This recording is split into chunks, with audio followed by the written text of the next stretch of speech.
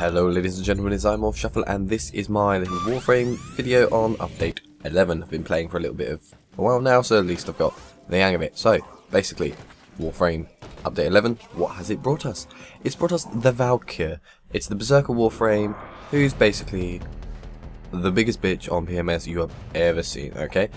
Basically, she is so ferocious, she's got so much fury in there, but she has had reasons for this. She was basically tortured quite a lot, so she's either the product or possibly even the failure of the Zanuka project. So she's got loads of cries as well, like tortured cries. So as she'll perform actions, she'll cry as if she's been tortured, which only Warframe that has that. I'm just going to throw that out there. She's the second female Warframe whose base stats defy a trend of fragility. So she's very fragile, but she does have low shields. But even though, even though with that, she has a very high armor value. Okay, she's got, in fact, she's got the highest out of all the Warframes. Okay. Her base values are this. Health is 100, 300 at rank 30. Power 100, 150 at rank 30. Armor 200. shield capacity of 50, which is 150 at rank 30. Stamina of 150. And polarities, she's got four of the two strikes and two Vs. Okay, so with that, that's the basic ones. Forged in the labs of the Zanuka project, the original Valkyr was subject to cruel experiments, leaving her scared, angry, and frighteningly adept at killing. So she's going to be a badass little bitch, okay?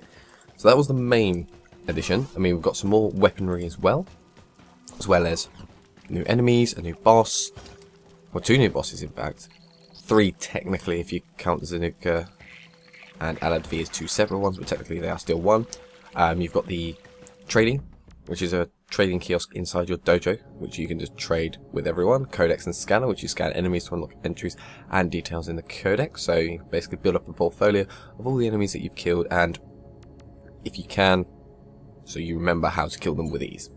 Okay, and then you've got the basic fixes, um, like heads being completely invincible, so that you can't actually get headshots on the Corpus Crewmans. To your mortal skins are not being tintable, uh, tintable, sorry.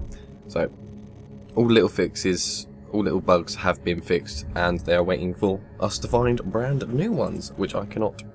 I haven't really come across any bugs myself, but who knows. Weaponry. We've got the Tigris, which is the Tenno oh double-barreled shotgun, which is amazing. I believe it's the... It's ridiculously powerful and it's very user-friendly as well. If I was to use shotguns, personally I don't use shotguns, but if I was, this would be the one I would use.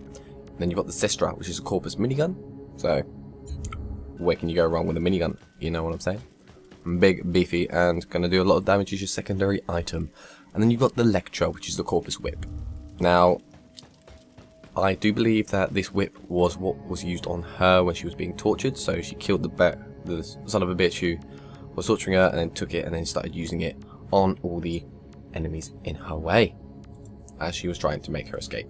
Okay, and then when you look at the main main screen, everything has changed. It's more user friendly, it's more clean, it's a lot neater, and it's just, to me, it looks beautiful as a first screen that you come to your central hub.